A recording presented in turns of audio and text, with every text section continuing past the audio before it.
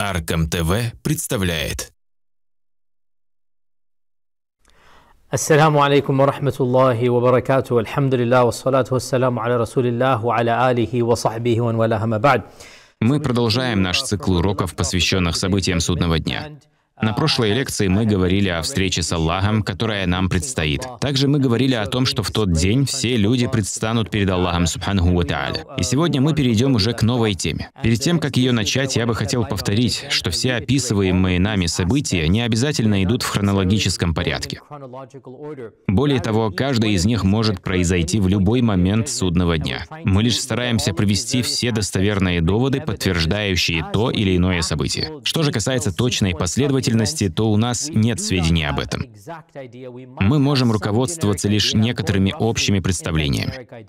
Скажу лишь, что один из ключевых моментов состоит в том, что, по всей видимости, события судного дня будут относительными для каждого человека и каждой группы. То есть для каждого человека судный день будет восприниматься несколько по-своему. Итак, я опять повторюсь. Мы с вами не обязательно идем в хронологическом порядке. Наша цель — привести достоверные предания и доказательства каждого события из Корана и Сунны, после чего идти дальше. Итак, следующими нашими темами были пришествие Аллаха, так как подобает Его величию, и представление всех людей перед Аллахом Тааля. Сегодня мы поговорим о том, как Всевышний Аллах будет обращаться к творениям, и как творения будут понимать Аллаха Тааля. Об этом также прямо говорится и в Коране, и в Суне. Например, в суре Аль-Аараф в шестом и седьмом аятах Всевышний Аллах говорит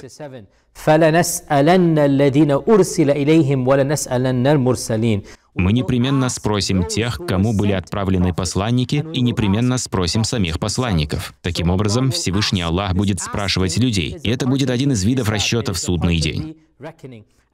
Сначала Аллах Субханаху Тааля обратится к пророкам.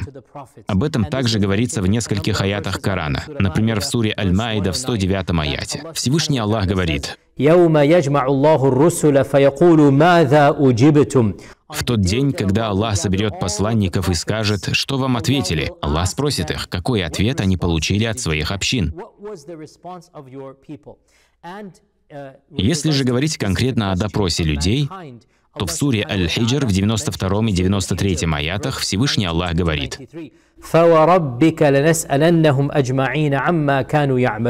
«Клянусь твоим Господом, мы непременно всех их спросим о том, что они совершали».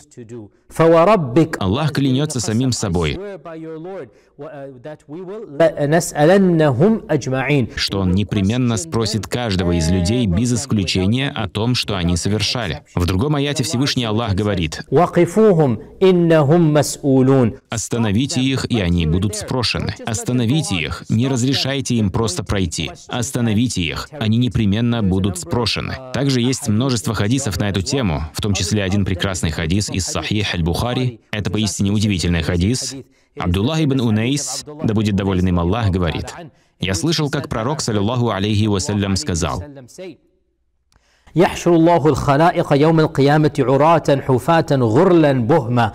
в судный день Всевышний Аллах соберет всех людей голыми, босыми, необрезанными, такими, как когда-то родила их мать.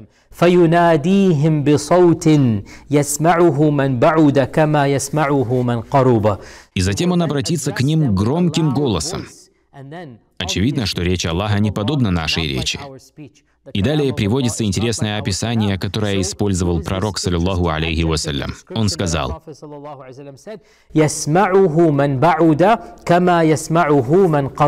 «Те, кто были вдалеке, услышат его так же, как и те, кто были рядом». Когда я говорю, то тот, кто ближе ко мне, услышит меня лучше, чем тот, кто вдалеке. Но речь Аллаха не подобна нашей с вами речи. Да и любой другой его атрибуты и качества не подобны нашим качествам. Итак, пророк, саллиллаху алейхи вассалям, говорит, что Всевышний Аллах обратится к ним громким голосом. Однако этот голос, который будет услышан, присущ только Всевышнему Аллаху. Поэтому находящиеся вдалеке услышат его точно так же, как и те, кто были рядом. И затем Всевышний Аллах скажет, я царь. Я истинный судья. Все подчиняется мне. Я царь. Я судья. Все услышат эти слова, которые Аллах Велик Он и Возвышен скажет о себе. Сегодня я царь. Я судья. Во многих хадисах пророка, саллаллаху алейхи вассалям, говорится, что в судный день Всевышний Аллах обратится к Адаму, к Нуху, к Ибрагиму, мир им всем, и также Аллах обратится к нашему пророку, саллаллаху алейхи вассалям. Разумеется, эта речь будет обращена к пророкам, и уже после этого Аллах, велик Он и возвышен, обратится к верующим. Что же касается неверующих, которые не отвергали Аллаха, то есть некоторые доводы, говорящие о том, что Аллах будет говорить с ними. И также есть доводы о том, что Аллах не будет говорить с ними. Как же нам объединить эти два мнения? В благородном Коране есть такие слова «Валя юкаллимухум Аллаху валя илейхим яумаль киямати валя юзаккихим». Аллах не станет говорить с ними, не посмотрит на них в день воскресения и не очистит их. Также Всевышний Аллах говорит, «Оставайтесь здесь с позором и не говорите со мной». «Валя тукаллимун» — «Не говорите со мной». В Сахихе Аль-Бухари приводится хадис, в котором пророк, саллаллаху алейхи вассалям, сказал, «С тремя не заговорит Аллах в судный день, не очистит их и не посмотрит на них». Есть три разные версии, в которых говорится про три разных качества. Но говоря в общем, это будет высокомерный человек, а также тот, кто клянется Аллахом и при этом лжет. Также упоминаются многие другие категории людей. Тем не менее, в хадисе совершенно четко говорится, что будут три категории людей, с которыми Всевышний Аллах не заговорит и на кого Он не посмотрит. Таким образом, здесь указано на то, что Аллах не посмотрит и не заговорит с некоторыми людьми в судный день. В то же время, читая другие аяты, у нас складывается впечатление, что все творения услышат Аллаха Субханаху Ва Ибн Кафир привел свой комментарий и как бы объяснил объединил эти два мнения. Он говорит, это значит, что Аллах не посмотрит на них с милосердием. И Аллах не будет разговаривать с ними с милосердием, поскольку у нас есть другие свидетельства, указывающие на то, что все человечество предстанет перед Аллахом Субханаху Ва и Всевышний Аллах посмотрит на все человечество — но будут среди людей те, на которых Аллах будет смотреть с милосердием, а те же, которые отвергли своего Господа, не удостоятся никакого милосердия. Что же касается мнения о том, что Аллах не будет разговаривать с неверующими, то Аль-Куртуби и другие толкователи Корана сказали, что судный день будет очень длинным. И поэтому временами речь Аллаха, обращенная к неверующим, будет для них наказанием, а временами наказанием для них станет то, что Аллах будет их полностью игнорировать. И то, и другое станет для них мучительным наказанием. Каким образом? Представьте такую ситуацию. Опять же, я привожу этот пример только для того, чтобы нам было понятнее. Представьте, что некий тиранический режим заточил в тюрьму множество людей и они даже не могут обратиться к судье, не могут хоть как-то связаться с внешним миром и защитить себя. И само это изолирование является для них пыткой. Теперь представьте, что они предстанут перед судьей, единственной задачей которого является наказать их и запечь в тюрьму на максимально долгий срок. И это тоже, разумеется, является для них наказанием. Опять же, я привел вам этот пример для того, чтобы вам было понятно, а не для того, чтобы сравнить это с деяниями Аллаха. Я просто сравнил ситуацию в этом мире, которая понятна и ясна нам, и затем экстраполировал ее на следующую жизнь. Когда человек сидит в одиночной камере, лишенной контактов с внешним миром, это само по себе уже является ужасным наказанием. И когда он будет знать, что суд уже решил его судьбу и заранее приговорил, то это тоже будет для него пыткой. И чтобы объединить эти противоречащие друг другу свидетельства, мы скажем, что в определенный период судного дня Всевышний Аллах не будет говорить с неверующими и также не позволит им говорить. И это будет наказанием для них. И будет время, когда Аллах будет обращаться к неверующим. И это вселит беспредельный ужас в их сердца, поскольку когда сам Аллах, царь царей, будет обращаться к вам и указывать на ваши грехи, и вы будете знать, что это правда, то представьте, как это должно быть страшно. Вот как мы можем объединить в Коране и в Сунне то, что в судный день Всевышний Аллах временами будет говорить с неверующими, а временами не будет. Так мы узнали, что в судный день Всевышний Аллах будет смотреть на свои творения, и некоторые творения будут смотреть на Него, и Аллах будет разговаривать с некоторыми творениями. Теперь мы переходим непосредственно к аль-хисабу, расчету в судный день. И это также будет многоступенчатый процесс. Мы начнем на этом уроке, а на следующем уроке мы перейдем уже к другому виду хисаба, поскольку хисаб с арабского переводится как расчет.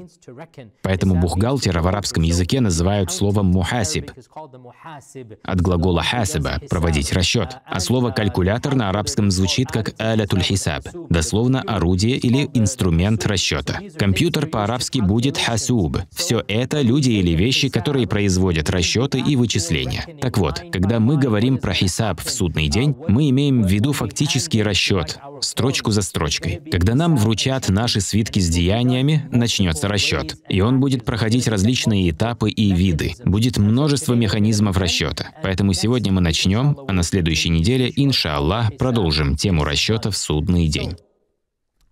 Итак, один из видов расчета, который мы на самом деле все желаем, это так называемый аль-ард. Мы уже говорили о нем на прошлом уроке. Это будет общий осмотр, общее представление, когда Всевышний Аллах посмотрит на свои творения. И, как мы разъяснили на прошлом уроке, для некоторых людей это и будет их расчет. У каждого из нас будет личная встреча с Аллахом Субханаху Тааля. И в тот момент, даже несмотря на то, что мы будем окружены миллиардами людей, нам будет казаться, что мы совершенно одни, как будто Всевышний Аллах сосредоточился только на нас. Так мы будем это ощущать, поскольку очевидно, что у всех вокруг будет такое же ощущение, что они наедине с Аллахом Субханаху Тааля. Однажды Ибн Аббаса, да будет доволен им Аллах, спросили, как Аллах одновременно произведет расчет всех творений? И он ответил, так же, как Всевышний Аллах одновременно обеспечивает пропитанием каждое творение. Каждый человек, каждое живое творение получает свой удел. Я получаю свой удел, птица получает свой удел, рыба получает свой удел, и все это происходит одновременно. Всевышний Аллах заботится о каждом из нас. И также одновременно Он будет производить расчет каждого из нас. Итак, самая легкая, наименее сложная стадия расчета, на которую мы все надеемся, это стадия общего представления наших деяний. О ней прямо говорится в хадисе из Сахих Аль-Бухари, переданного от матери правоверных Аиши, да будет доволен ею Аллах. Она говорит, что однажды пророк, саллаллаху алейхи вассалям, сказал, «Тот, у кого потребует полного отчета, кто будет тщательно опрошен и проверен, тот будет подвергнут наказанию». Есть такое понятие, как «никаш», что переводится как подробная, тщательная проверка. Например, когда выпускник университета защищает свою дипломную работу, то это называется мунакаша. Также, когда люди спорят между собой, когда происходит обоюдное припирание, то это также называется словом мунакаша. Так вот, наш пророк, саллаллаху алейхи вассалям, использовал этот же самый глагол, только в страдательной форме — нукиша, то есть тот, кого будут тщательно проверять, и кому будут говорить «посмотри сюда, а теперь посмотри туда, а это что? Именно такой человек и будет наказан. Так вот, Аиша, да будет доволен ею, Аллах спросила, «О посланник Аллаха, разве Всевышний Аллах не сказал в Коране, тот, кому его книга будет вручена в правую руку, тот получит легкий расчет. То есть будут люди, которые получат легкий расчет. Почему же будет наказание, когда Аллах сказал, что будет легкий расчет? И пророк, саллаллаху алейхи вассалям, сказал, это, в смысле то, о чем говорится в аяте, всего лишь представление. Это будет не тщательная и скрупулезная проверка, а лишь поверхностный осмотр. Итак, у нас есть два арабских слова — «никаш» или «мунакаша», что одно и то же, и «ард». Никаш — это тщательная проверка. Пункт за пунктом. Подробная и скрупулезная проверка каждого деяния. Тотальный расчет. Что касается арба или представления, то это будет общая поверхностная проверка а не строгая, строчка за строчкой. Так вот, Всевышний Аллах говорит в Коране, «Тот получит легкий расчет». И именно этого мы желаем. Мы желаем легкого расчета. Такое часто можно увидеть в школах, хотя сейчас все основано на сдержках и противовесах. Но помню, когда я учился в школе, было то же самое. Учителя так хорошо знали студентов, что уже заранее угадывали, кто какие оценки получит, кто хорошо сдаст экзамены, а кто провалит. И поэтому, когда очередь доходила до самых лучших студентов, всегда получавших пятерки, учителя не проверяли их работы тщательно, а лишь слегка проходились по ним, отмечая, что все задания сделаны, и затем сразу ставили пять. Что же касается троечников или слабых хорошистов, еле успевавших, то учителя очень внимательно проверяли каждое задание, чтобы не упустить ни одной ошибки, которая может повлиять на оценку. А те, которые всегда были отличниками, просто ставили свои тетради на стол, учитель брал их, бегло осматривал, так, хорошо, все на месте, и отдавал обратно. Он не проверял каждое задание с красной ручкой наготове, поскольку по своему опыту он знал, что этот студент всегда сдает работу на 5. Очевидно, в наши дни мы так не делаем. Сегодня никто не позволит учителям так делать. Но когда я рос и учился в школе, я прекрасно помню, что такое происходило. И все все понимали, никто не жаловался. Все понимали, что этот студент — круглый отличник, и он заслужил такое отношение своим усердием и постоянством. Поэтому его работы не проверяют досконально, поскольку учителя знают, что у него и так все хорошо. Именно это подразумевается в слове «ард», которое упомянуто в хадисе. Это лишь поверхностное, общее прохождение. И именно это имеется в виду в аятах «Тот, кому его книга будет вручена в правую руку, тот получит легкий расчет». А тот, чьи деяния будут досконально проверяться, строчка за строчкой, слово за словом, то даже если он пройдет расчет, кстати, тщательная проверка деяний не означает, что он отправится в ад. Тем не менее, наш пророк, саллаллаху алейхи вассалям, сказал, «Тот, у кого потребует полного отчета, кто будет тщательно опрошен и проверен, тот будет подвергнут наказанию». Приведу вам еще один пример. Повторюсь, это всего лишь пример, и никто не должен думать, что я сравниваю этот мир с вечной жизнью. Представим, что вы заполнили налоговую декларацию. Вы все сделали правильно.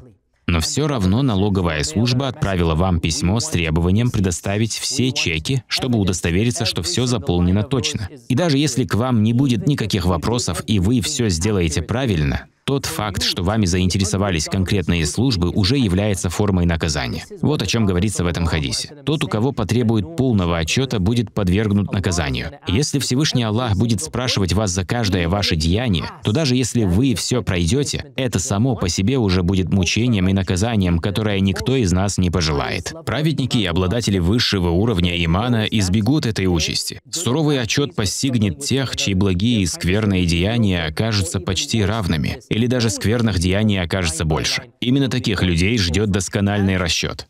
Итак, это было одно понимание того, что такое ард и никаш. Еще мы должны знать, что людям будут вручаться физические свидетельства их деяний в судный день. Будет основное вещественное доказательство.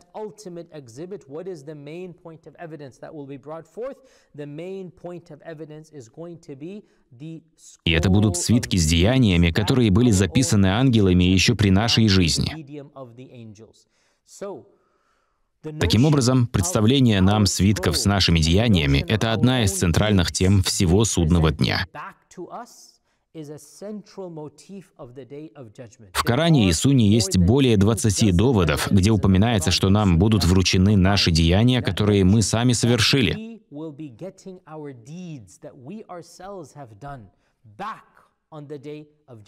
Нам вернут их в судный день, и получим мы их в виде свитков.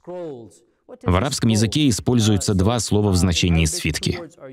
Это сухуф и китаб. Оба эти слова имеют похожие значения. Сухуф — это завернутые листы, а китаб — сложенные в виде книги. Всевышний Аллах неоднократно упоминает в Коране о том, что наши деяния будут записаны. И это то, что знает каждый из нас. Еще будучи детьми, мы часто слышали о записи наших деяний. Повторюсь, об этом также говорится в Коране, о том, что есть специальные ангелы, записывающие абсолютно все наши деяния. Например, Всевышний Аллах говорит в суре Каф в 17 аяте. «Двое ангелов сидят справа и слева, и принимают, то есть записывают деяния. Стоит ему произнести слово, как при нем оказывается ракибун атид, готовый наблюдатель. Некоторые люди посчитали, что Ракиб и Атид — это имена ангелов, находящихся справа и слева от нас. На самом деле нет, это не так. Ракиб и Атид — это не собственные имена, а прилагательные, описывающие этих ангелов. Ракиб и Атид — это имена прилагательные. Ракибун Атид — это готовый записывать наблюдатель. Ракиб — это тот, кто постоянно наблюдает, а Атид отвечает за то, чтобы ничто не ускользнуло. Всевышний Аллах описывает этих двух ангелов, а не называет их. Таким образом, об ангелах, которые постоянно наблюдают за нами и записывают наши деяния, также прямо говорится в Коране и в Сунне. Например, в суре Аль-Инфитар Аллах Велик Он и Возвышен говорит, «Воистину над вами есть хранители, Благородные писцы. Кирамен — это благородные ангелы. Катибин — записывающие писцы. И что они делают? Они знают о том, что вы совершаете. Они записывают все деяния, которые мы совершаем. В суре Алю Имран в 181 аяте Всевышний Аллах угрожает тем, которые совершали злодеяния и сказали ужасные слова, и говорит, «Мы запишем то, что они сказали». В суре Ясин в 12 аяте Всевышний Аллах говорит,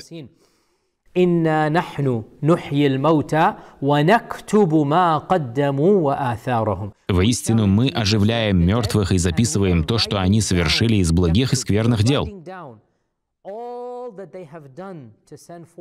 И что они оставили после себя. Мы записываем даже их следы. Другими словами, это настолько всеохватывающая запись, что в ней ничего не ускользает. Зафиксирован каждый шаг, который они совершали. И всякую вещь мы записали в ясном руководстве. Все было записано в изначальной книге, в реестре. Всевышний Аллах называет его имамом, не тем, за кем вы следуете в молитве, а записью, которая следует за вашей жизнью. Все, что вы делаете, записывается в особом реестре. И он подобен имаму, который содержит данные обо всей вашей жизни. Итак, Аллах говорит, «Всякую вещь, все, что совершают люди, мы подсчитали в ясном руководстве». Также об этом прямо говорится в суре Ат-Тауба в 120 и 121 аятах. ما كان لأهل المدينة ومن حولهم من الأعراب أن يتخلفوا عن رسول الله ولا يرغبوا بأنفسهم عن نفسه. Не следовало жителям Медины и бедуинам из окрестностей оставаться позади посланника Аллаха и отдавать предпочтение собственным жизням перед его жизнью. То есть это неправильно, предпочитать свои жизни перед посланником Аллаха. И далее Всевышний говорит, أنهم لا يصيبهم ظمأ ولا نصب ولا مخمصة في سبيل الله ولا يطؤون موطئا يغيظ الكفار Это потому что жажда, усталость и голод, постигающие их на пути Аллаха, и каждый шаг, вызывающий гнев неверующих, и каждое поражение, нанесенное врагу, непременно запишутся им как добрые дела. Как видно, здесь опять подтверждается идея о записи деяний людей. Кстати, не только два ангела записывают наши деяния. Да, несомненно, два ангела прямо назначены для этого дела. Однако ангелов, записывающих деяния людей, намного больше. Особенно в судный день будет огромное количество ангелов, которые записывали наши деяния. Получается, мы сами будем авторами этих записей, а ангелы будут лишь теми, кто их записывали. И в судный день, когда нам представят наши свитки, мы узнаем свои деяния и поймем, что именно мы являемся их авторами. Это мы все записали посредством ангелов. И как было сказано, не только два ангела будут писать, и тому есть доказательства. Например, в хадисе из сборника Аль-Бухари пророк, саллаллаху алейхи вассалям, сказал,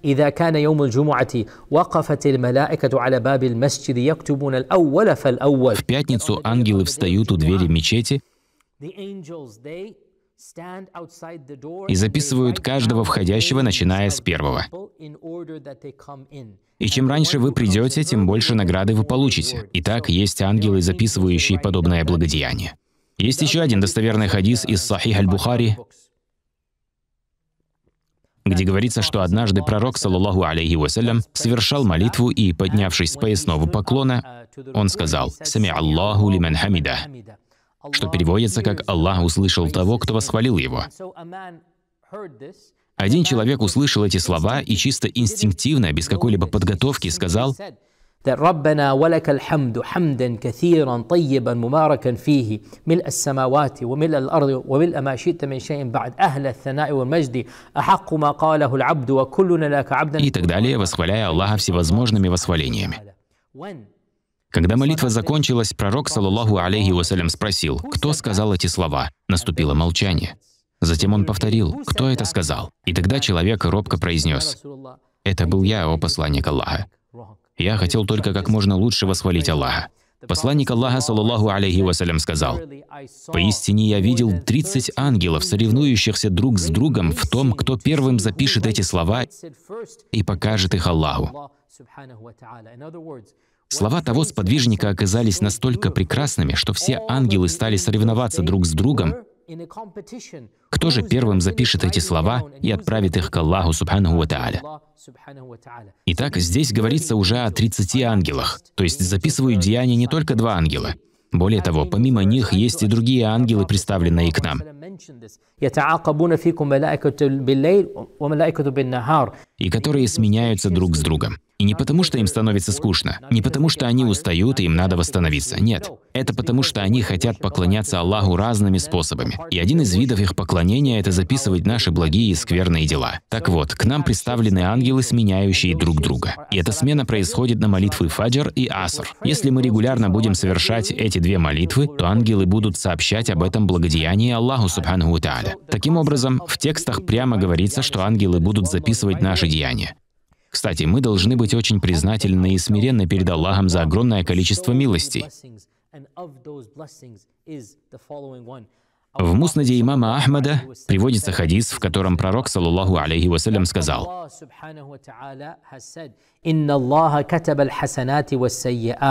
Поистине Аллах записал благодеяния и злодеяния, и потом разъяснил их. Кто задумает совершить какое-то благодеяние, но не совершит его, Аллах записывает это у себя как полное благодеяние. А тому, кто задумает совершить благодеяние и совершит его, Аллах запишет ему за это благодеяние 10 благодеяний, и до 700 раз, и до большого количества раз. А кто задумает совершить какое-то злодеяние, но не совершит его, Аллах запишет для него полное благодеяние за это. То есть он подумает о совершении греха, но затем скажет себе, «Нет-нет, я не буду этого делать. Я боюсь Аллаха Субханаху ва Тааля». Он просто передумает совершать этот грех. Представим, что ему в голову пришла мысль украсть что-то. У него появилось искушение. Но затем он сказал себе, «Нет, я не буду воровать». Только потому, что он переборол в себе это греховное желание, не стал воровать, а просто остался на месте, вот за это Аллах запишет ему награду как за полное благодеяние. И далее пророк, саллаллаху алейхи вассалям, говорит, а тот, кто задумает совершить какое-то злодеяние и сделает его, то Аллах запишет это как одно злодеяние, один грех. Субханаллах. Наши записи не будут вестись пропорционально. Нет, все настроено в пользу благодеяний. Если пожелаете совершить благодеяние, но затем передумаете по какой-то причине, вы все равно получите награду. Но если вы совершите благодеяние, вам запишется от 10 до 700 благодеяний. Если пожелаете совершить грех, но затем передумаете из-за страха перед Аллахом, вы все равно получите награду. Получается, в трех из четырех случаев вы можете получить награду. И только в четвертом случае, если вы все-таки совершите грех, вам он будет записан как одно злодеяние. Получается, это не объективная запись, если иметь в виду объективность в этом мире. this world. Это очень милосердная запись, которую только милосерднейший Господь мог создать для нас. Это запись, которую мы бы не сделали даже для самих себя. Это запись, сделанная в нашу пользу. И поэтому горе тому, кто не сможет воспользоваться этой милостью и милосердием от Аллаха, велик он и возвышен. Итак, мы узнали, что фактически мы являемся авторами своих свитков с деяниями. Это ведь наше благодеяние и злодеяние. В судный день свитки с нашими деяниями будут возвращены нам. Они будут раскрыты перед нами. Нам будут показаны наши собственные записи, авторами которых мы сами будем являться. Всевышний Аллах говорит в Коране, «Когда свитки с деяниями рабов будут развернуты, получается, свитки с нашими деяниями будут свернуты, и затем они будут развернуты. Имам Ат-Табари, комментируя этот аят, сказал, В судный день свитки с деяниями сначала будут свернуты, поскольку человек покинул мирскую жизнь и его дела завершились. Но затем они будут развернуты. И человек увидит все свои деяния, как хорошие, так и скверные. Когда свитки с деяниями рабов будут развернуты, есть еще один известный аят, в котором прямо указывается, что мы сами являемся авторами нашей книги деяний. И в судный день нам вернут нашу книгу ту самую книгу с деяниями, авторами которой мы являемся. Ее развернут прямо перед нами. Мы увидим ее в свежем, как будто бы только изданном виде в судный день. Всевышний Аллах говорит в Коране в суре Аль-Исра в 13 и 14 аятах.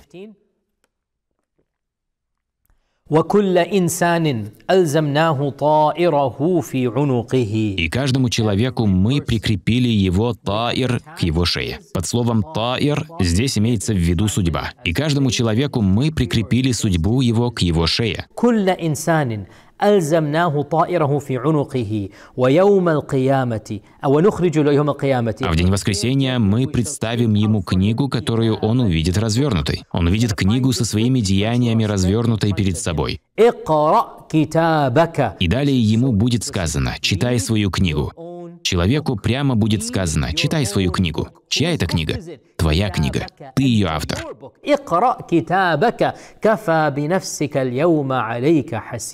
Читай свою книгу. Сегодня достаточно того, что ты сам сосчитаешь свои деяния против самого себя. Это очень сильные аяты. Я хочу, чтобы вы хорошенько поразмыслили над ними. Еще раз прочтите их. Это сура Аль-Исра, 13 и 14 аяты. Читай свою книгу. Сегодня достаточно того, что ты сам сосчитаешь свои деяния против самого себя. Эта книга будет содержать абсолютно каждое деяние, которое мы совершили. Опять же, это повторение того, что я говорил три недели назад, когда мы говорили про 49-й аят из суры Аль-Каф. Будет положена книга. Будет принесена книга и ты увидишь, как грешники будут трепетать от того, что они увидят в ней. То, что они увидят, повергнет их в ужас. So their own book will terrify them. Они скажут, горе нам, что это за книга?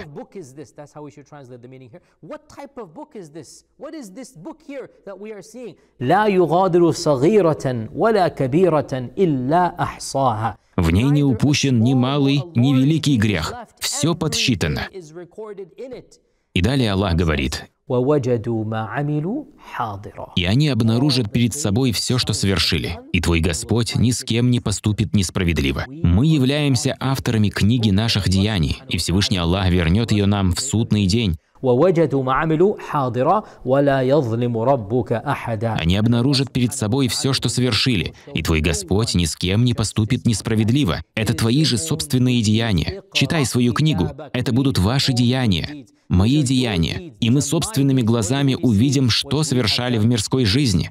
Нам предоставят нашу собственную книгу, авторами которой мы являемся. И Всевышний Аллах прямо указал в Коране на цель всего этого. Сегодня достаточно того, что ты сам сосчитаешь свои деяния против самого себя. То есть человек будет сам свидетельствовать против самого себя. Эта же идея упоминается в хадисе из сборника Абу Дауда и других. Анас ибн Малик, да будет доволен им Аллах, передает, что однажды пророк, саллиллаху алейхи вассалям, улыбнулся. Анас говорит, «О посланник Аллаха, почему ты смеешься?» Посланник, саллиллаху алейхи вассалям, сказал присутствующим, «Знаете, из-за чего я смеюсь?» Из-за диалога Аллаха, азза ваджаль, с его рабом. В судный день раб скажет, the servant will say that, "Oh, my Lord, «Разве ты не защищал меня от несправедливости?» unjust?" И Всевышний Аллах ответит, «Да, конечно». И тогда раб скажет, «Сегодня я не позволю наказать меня, не предоставив свидетеля от меня. Я не позволю никому, кроме самого себя, свидетельствовать против меня».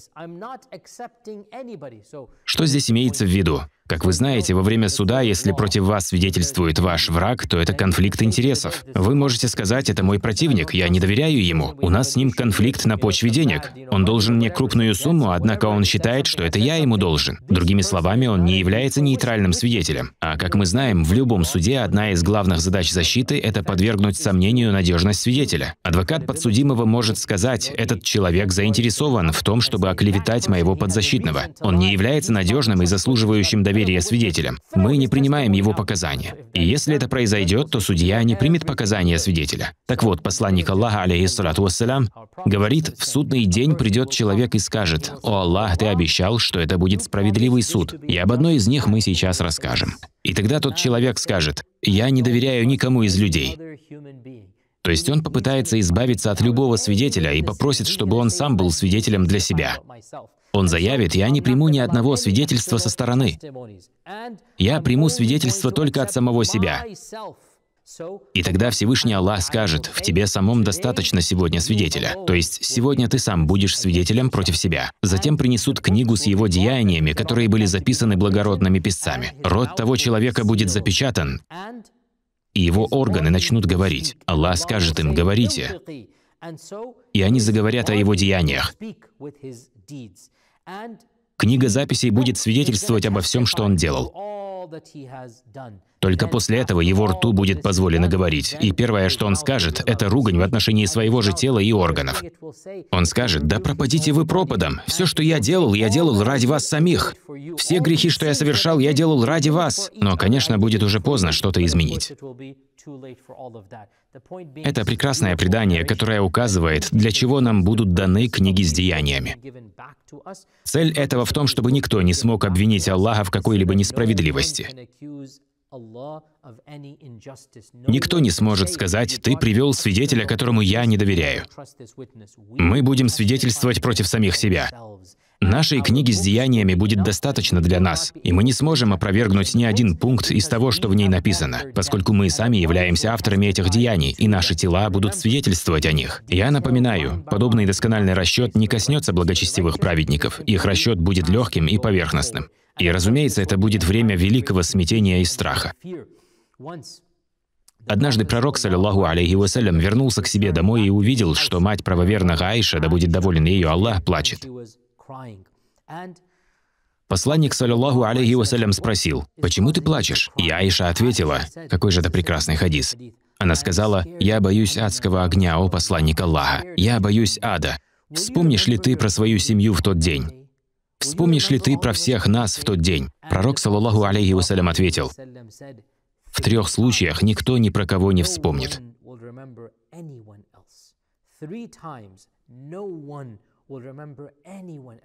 Первый случай у весов, пока не узнает человек, какая чаша с его делами перевесит. О весах в судный день мы поговорим на следующем уроке, иншаллах.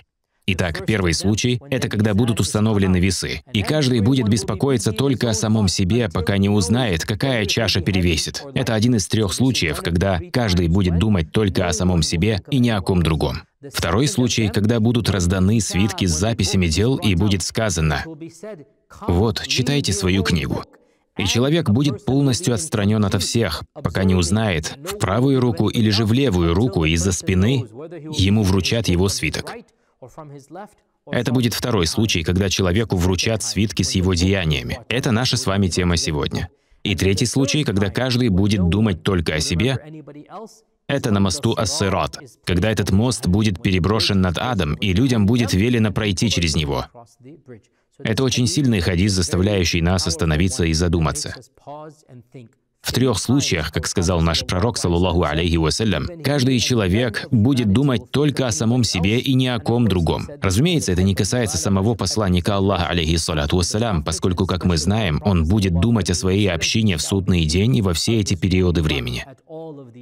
Но он сказал так, чтобы нам было понятно, что в судный день будут три события, когда обычный человек будет полностью погружен в свои мысли. Первый случай, когда будут установлены весы. Второй случай, когда раздадут книги с записями наших деяний. И третий случай, когда будет установлен мост над адским пламенем. И так принесут свитки или книги с нашими деяниями. И нам позволят просмотреть все, что в них есть. На прошлом уроке я говорил, что согласно одному хадису, имеющему некоторую слабость, вероятно, у нас будет возможность изучить эти свитки. И затем мы сможем защититься, и уже после этого будет вынесен окончательный приговор. Получается, будут три стадии. Сначала нам покажут свидетельства, и мы увидим и изучим их. Затем, возможно, Всевышний Аллах позволит нам защититься, как-то оправдаться за те или иные деяния, если в этом будет нужда. Но как мы сможем защититься? Ведь перед нами наглядно будут дела, которые мы совершили, и затем уже будет вынесен вердикт. И каким же будет этот вердикт? Свитки с деяниями будут вручены нам. Мы буквально получим эти свитки на руки. И от того, как, в какую руку мы их получим, будет зависеть наш приговор. Это будет первый способ. Опять же, забегая вперед, скажу, что будет и другой способ, а именно весы. О них мы поговорим на следующей неделе, иншаллах. А на этом уроке мы говорим о книгах или свитках с нашими деяниями. Будут ли свитки и весы в одно время или же в разное, мы не знаем. Возможно, сначала будут весы, а потом свитки. А возможно, наоборот. Возможно, они появятся одновременно. Все это относится к сокровенному знанию, которое нам не дано понять. При этом знание об этом никак не влияет на нашу веру. Однако мы должны знать обо всех этих этапах судного дня, чтобы в некоторой степени подготовиться к ним, понимая, что в судный день нам представят все наши деяния и что они будут взвешены. Итак, мы сказали, что будут принесены свитки с деяниями, и у нас будет возможность прочитать их и затем эти свитки будут нам вручены. И от того, как они будут вручены нам, будет зависеть, сдадим ли мы этот экзамен и пройдем дальше, или же мы его провалим. То, как нам вручат эти свитки, и как мы вернемся к нашим семьям, будет указывать на наше дальнейшее положение. Опять же, об этом совершенно четко и прямо говорится в Коране и в Суне. В суре Аль-Хакка Всевышний Аллах приводит несколько замечательных аятов. Мы прочитаем каждый из них. И затем мы упомянем аяты из суры Аль-Инфитар. Итак, начнем с суры Аль-Хакка, 17 аята и далее. وانشقت السماء فهي يومئذ واحية والملك على أرجائها ويحمل عرش ربك فوقهم يومئذ ثمانية. That, uh, on that day, Ангелы будут находиться по его краю, и восьмера понесут над собой трон твоего Господа. Итак, в этих аятах Всевышний Аллах говорит про события судного дня, о том, что небеса расколются, и затем восемь ангелов понесут трон Аллаха Субханаху Ва и эти ангелы будут находиться по краям неба, кружась вокруг событий судного дня. И понесут трон Господа твоего над ними в тот день восемь великих ангелов. И так будет принесен трон Аллаха. И все события судного дня будут как будто бы на одной арене, окруженной ангелами. И далее Всевышний Аллах говорит, в тот день вы предстанете перед Аллахом. Мы уже говорили о представлении всех людей в судный день. В тот день, то есть в день суда, вы, люди, будете представлены перед Аллахом для расчета и воздаяния. И не останется сокрытой перед Ним ни одна ваша тайна. Всевышний Аллах увидит все и всех, и никому не удастся ничего скрыть. Далее Аллах Велик и Возвышен говорит, «Тому, кому Его книга будет дана в правую руку, Заметьте, на прошлой неделе мы говорили о том, что все люди предстанут перед Аллахом, и что Он будет смотреть на них. И здесь, в 18 аяте, также говорится, «В тот день вы будете представлены». И уже в следующем аяте говорится, «Тот, кому его книга будет дана в правую руку, скажет, «Вот, посмотрите, что я делал. Прочтите мою книгу». Он воскликнет от радости. Когда кто-то сдает экзамены и переходит на следующий курс, то кричит на весь класс «Ура! Я сделал это! Я прошел тест!» Настолько он радуется успеху. И в судный день человек тоже воскликнет «Вот! Вот! Смотрите! Прочитайте мою книгу!» Я верил в то, что мне предъявят счет. Я знал, что наступит день, когда я получу свой расчет, и моя книга с деяниями будет вручена мне. И вот про такого человека Всевышний Аллах говорит. Для него будет отратная, довольная жизнь в вышнем саду, где плоды склоняются низко, и поэтому до них легко достать. Ешьте и пейте во здравие за то, что вы совершили в минувшие дни. Больше не беспокойтесь о тяготах мирской жизни, которая у вас была, ведь теперь вас ждет легкая, благая жизнь. Тот же, кому его книга будет дана в левую руку, Итак, будут те, кому книга будет дана в правую руку, и будут те, кому книга будет дана в левую. Тот же, кому его книга будет дана в левую руку, скажет, лучше бы мне не вручали мои книги. И если бы я вообще не знал, каков мой расчет, о, лучше бы она, то есть смерть в земной жизни, была концом всего. Другими словами, он будет желать, чтобы он вообще не существовал, чтобы он исчез полностью, чтобы ничего с ним никогда не происходило.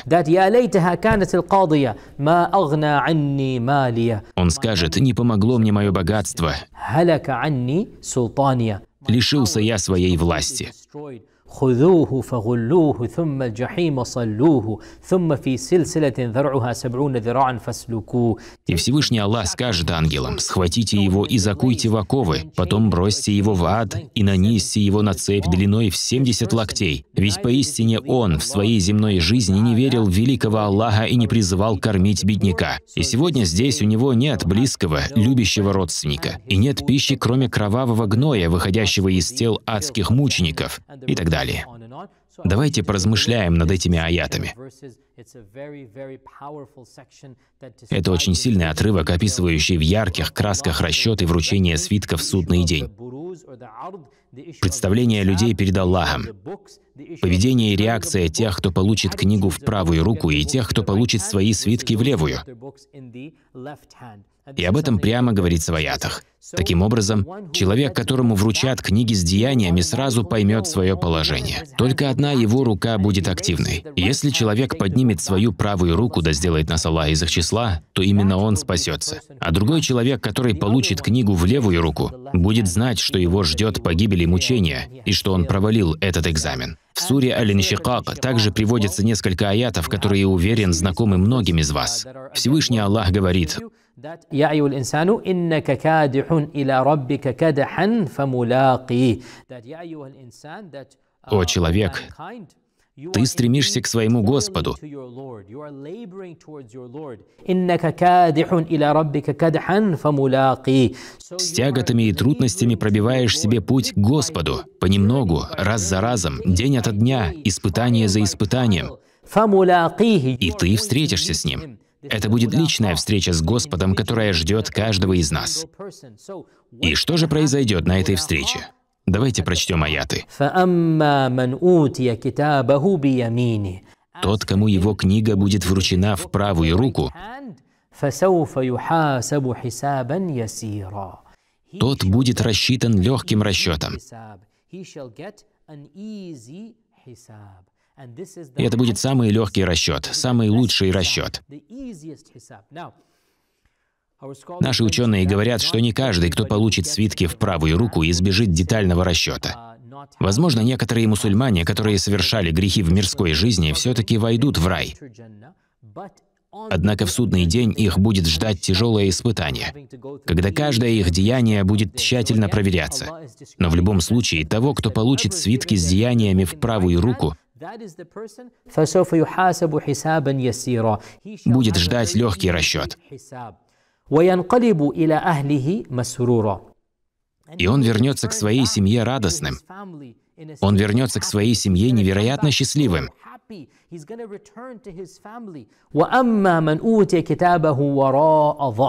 А тот, кому его книга будет вручена из-за спины, станет призывать погибель. Он не захочет больше жить. И он войдет в огонь.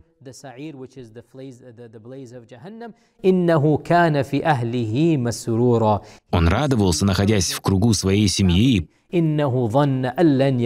полагал, что не вернется обратно к Аллаху Субхану Тааля. Но нет же, ведь поистине его Господь видел его всегда со дня его сотворения. Я хочу, чтобы вы еще раз прочитали эти аяты и поразмышляли над ними. Это сура Аль-Иншикак, аяты с 7 по 15. Пожалуйста, еще раз прочитайте эти аяты. Я повторюсь, что одна из целей наших лекций — это чтобы вы знали о доводах, чтобы вы возвращались к Корану и сами видели, что Аллах говорит вам.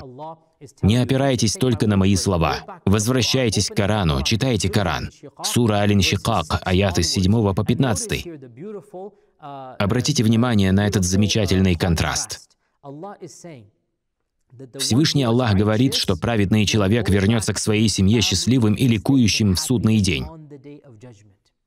А нечестивый грешник, который был счастлив и жил в благополучии в этом мире, который пренебрегал вечной жизнью, будет сильно опечален в тот день. Заметьте, как Всевышний Аллах проводит контраст. Для праведника истинное счастье и радость наступят в следующей жизни. Поэтому Всевышний Аллах говорит, и он вернется к своей семье радостным, счастливым, ликующим. А что касается нечестивца и грешника, то Всевышний Аллах сказал, он радовался, находясь в мирской жизни в кругу своей семьи. Обратите внимание на один важный момент. Всевышний Аллах словно говорит, счастье этого человека заключалось в материальных удовольствиях этого мира.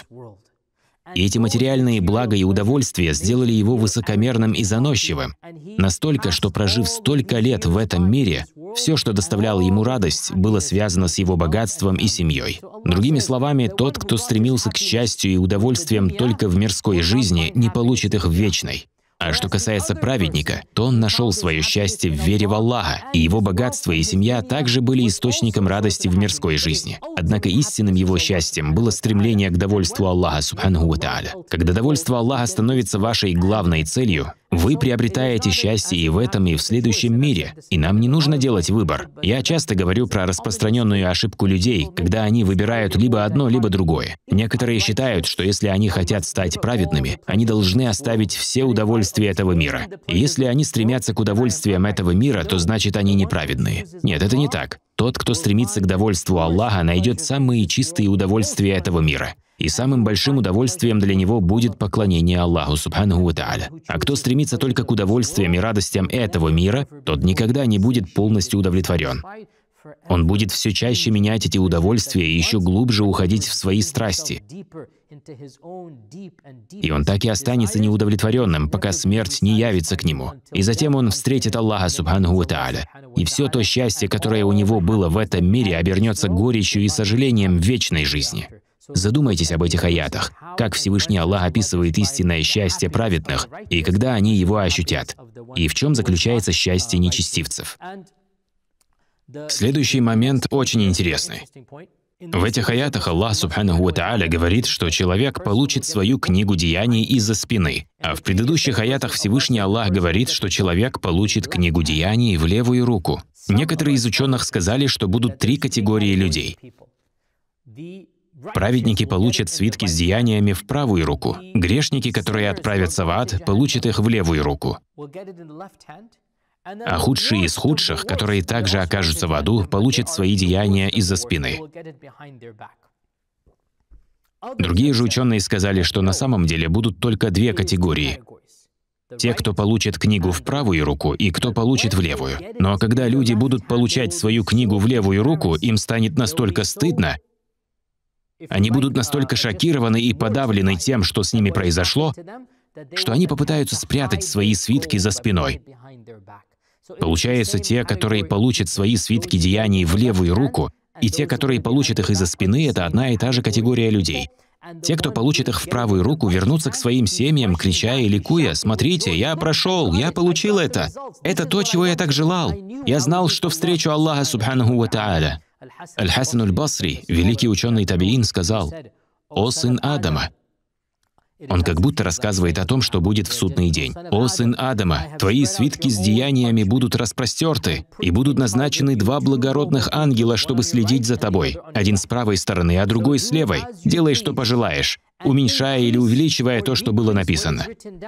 Когда ты умрешь, твои свитки с деяниями будут скручены и поставлены тебе на шею, в то время как ты будешь в могиле. Затем, когда ты встанешь из могилы, ты увидишь свои собственные свитки, и ты получишь их раскрытыми, и тебе будет сказано «Читай свою книгу». Клянусь Аллахом, тот, кто сделал тебя судьей над самим собой, проявил бесконечную справедливость. Это были слова Аль-Хасан Аль-Басри, описывающего события судного дня на основе Корана и Сунны. Он говорит, что когда человек умрет, его свитки с деяниями свернут и положат ему на шею. Возможно, он сделал этот вывод из аята, в котором Аллах говорит, «Каждому человеку мы повесили на шею его деяния». Из этого Аль-Хасан Аль-Басри сделал вывод, что когда человека кладут в могилу, то с ним вместе будет символическая книга или свитки с его деяниями. То есть человек в буквальном смысле будет охранять свои свитки, и никто не сможет их как-либо изменить. И затем в судный день человек выйдет из могилы и увидит свои свитки с деяниями уже развернутыми. Также из хадисов мы узнаем, что не все свитки будут одинаковой длины. В Сунане Ибн Маджа приводится хадис, в котором пророк, саллаллаху алейхи вассалям, сказал, «В судный день Всевышний Аллах скажет, раскройте свитки, и тогда свитки с деяниями будут раскрыты». В другом хадисе говорится, что будет 99 свитков. Каждый из них будет настолько длинным, насколько может охватить взгляд. Итак, не все свитки будут одинаковой длины. В зависимости от того, как долго вы прожили, что вы делали, а также в зависимости от количества и качества ваших деяний, длина ваших свитков также будет разной. Также можно понять, что, возможно, эти свитки будут разных видов. Они не будут все одинаковыми. В Муснаде имама Ахмада приводится один прекрасный хадис. Я часто упоминаю именно эту книгу, потому что, как я уже сказал, это самый большой сборник хадисов. Я прочитаю этот хадис с оригинального источника. Он находится в одном из последних томов Муснада, в 43-м томе. Издание, которое у меня выпущено знаменитым издательством Муэссасатур Рисаля.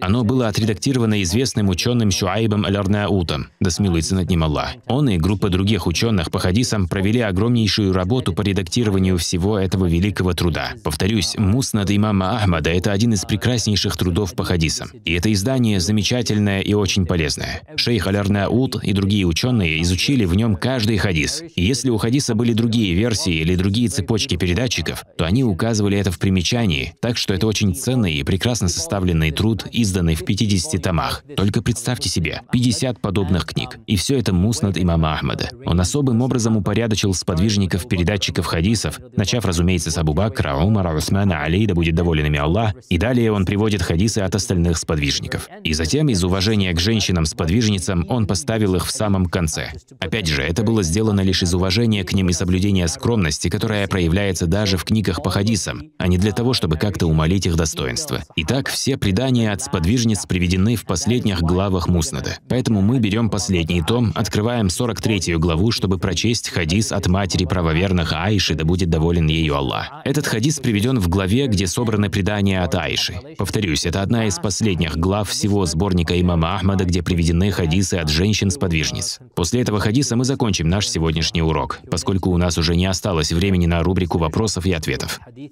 Итак, вот этот хадис от нашей матери Айши, да будет доволен ее Аллах. Имам Ахмад передает хадис под номером 26031.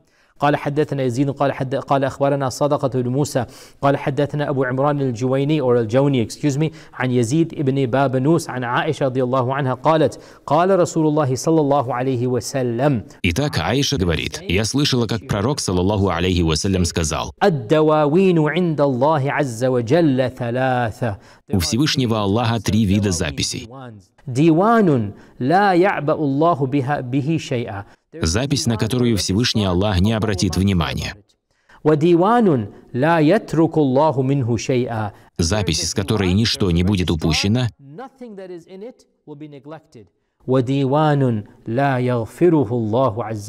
и также будет запись, обладателя которой Всевышний Аллах не простит. Что касается записи, обладателя которой Аллах не простит, то это предание Аллаху сотоварищей. Если человек совершал многобожие, и затем он умер, не покаявшись, то, как Всевышний Аллах сказал в Коране, Тому, кто предает Аллаху сотоварищей, Аллах запретил рай. Мы убеждены, что единственный грех, который Всевышний Аллах не простит, это ширк или предание Аллаху сотоварищей. И то, если человек не покается за него еще при жизни. Мы уже говорили, что многобожник может удостоиться прощения от Аллаха, если он покается до того, как умрет, поскольку покаяние полностью меняет положение человека. И покаянием многобожника будет принятие им ислама. Итак, будет запись деяний обладатель которой никогда не будет прощен. Если человек, будучи многобожником, умрет, то никогда не будет прощен. И это тот, кто предавал Аллаху сотоварищей. Что касается записи деяний, на которую Всевышний Аллах даже не обратит внимания, то это притеснение рабом самого себя, то есть того, что между ним и его Господом. Например, пропущенный пост или пропущенная молитва. Поистине Всевышний Аллах простит это, если пожелает. Этот хадис требует разъяснения, поскольку кто-то может услышать его и неправильно понять. Итак, в хадисе говорится, что будет запись, на которую Всевышний Аллах не обратит внимания. И это будут личные грехи, совершенные рабом, и которые будут между ним и Аллахом Субханаху Ва Возможно, такой человек не соблюдал пост как положено, или же он пропустил молитву, которую обязан был вовремя совершить. Вот такие грехи и упущения Всевышний Аллах может простить, кому пожелает. Ключевые слова здесь — это «если Аллах пожелает» или «кому Аллах пожелает» поскольку они подразумевают, что могут быть и те, кого Всевышний Аллах не пожелает прощать. И такие люди будут отвечать за свои грехи. И вот здесь стоит поговорить о положении грехов. Параллельно с этим циклом я провожу и другой цикл, посвященный как раз по этой теме. Он называется «Реальность грехов», и лекции на эту тему будут выходить вместе с этим курсом. И на данный момент вышел только один эпизод. С позволения Аллаха на этой и следующих неделях выйдут второй, третий и четвертый эпизоды. И вот в том цикле я говорю про категории грехов и что нам делать, чтобы надеяться на прощение наших грехов. Приведем несколько пунктов из того цикла здесь. Что касается тех людей, у которых будут малые грехи, то их благодеяния сотрут все малые грехи.